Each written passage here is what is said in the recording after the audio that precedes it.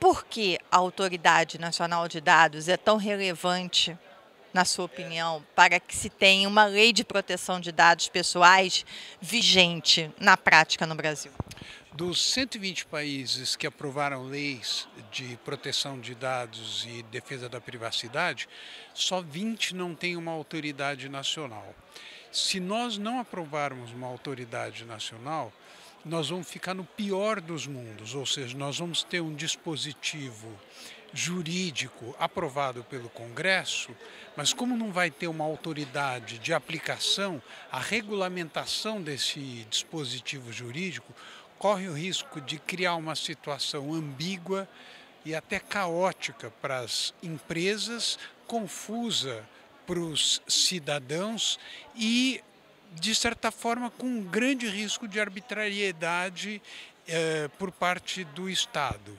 Então, essa autoridade nacional é absolutamente indispensável. Ela estava prevista na lei, ela foi vetada por razões de natureza administrativa, ou seja, o Congresso não tem o poder de propor eh, órgãos executivos. Havia uma promessa de que ela seria criada ainda esse ano, mas com o processo eleitoral nós corremos o risco de que ela não seja criada. E são meses que vão passando sem que essa autoridade mostre para a sociedade o que vai acontecer com a aplicação da lei. Ou seja, aprovou-se uma lei e uh, os agentes econômicos e os membros da sociedade não sabem o que isso significa. O que, que essa Autoridade Nacional de Dados precisa ter de diferente em relação às atuais agências reguladoras?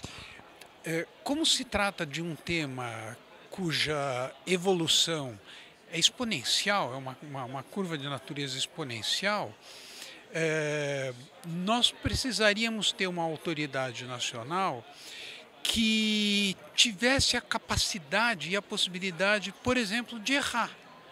Porque esse é um tema é, que está nos colocando questões e desafios inéditos. E não adianta alguém dizer eu sei como resolver, porque não sabe, ninguém, ninguém sabe. Então, uma autoridade nacional, ela tem, em primeiro lugar, a função de criar um ambiente cultural que possa fazer com que a internet e tudo que acompanha a evolução mais recente da internet esteja a favor da cidadania e a favor da dignidade humana e não em nome de alguns interesses e realizações econômicas, ferindo permanentemente essa dignidade.